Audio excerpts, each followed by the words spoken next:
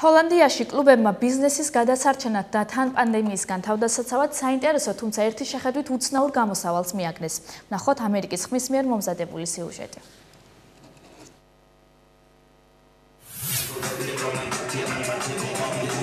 კლუბური მუსიკის და ცეკვის მოყვარულებმა ჰოლანდიაში დიდად გაიხარეს, როცა გაიგეს, რომ ზოგიერთი კლუბი ისევ გაიხსნა. ველი ფანტასტიკურ სოციალურ დისტენსინგს სასწაულ DJ ოდინთან ერთად. ნედი იქვე ცხოვრობს და კლუბში პირველივე დღეს მივიდა, როცა ის პანდემიის შემდეგ გაიხსნა. სკამზე მიჯაჭვულობას და ნაკლებ ხალხს არაფრად აგდებს და უხარია რომ ცხოვრება თანდათან ძველ კალაპოტს უბრუნდება.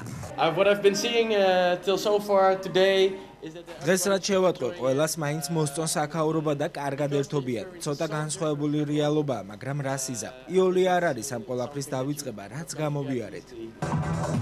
თავიდან აპირებდნენ სტუმრებისთვის 2 მეტრამდე დისტანციით ცეკვა ეთხოვათ, მაგრამ თავრობამ ნება არ დართო. გამოდის რომ ცეკვა საკუთარ სკამზე დროებით მშვენიერი გამოსავალია.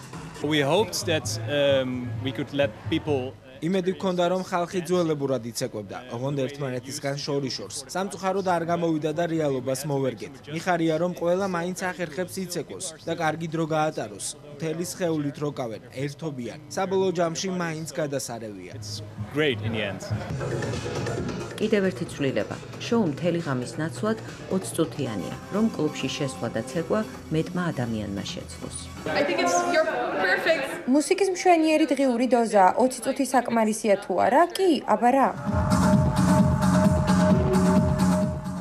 ერთ შესვლაზე ჯერ 30 სტუმარს უშვებენ, თუმცა ივლისში იმედი აქვთ, რომ კლუბში 100 ადამიანს შეიყვანენ.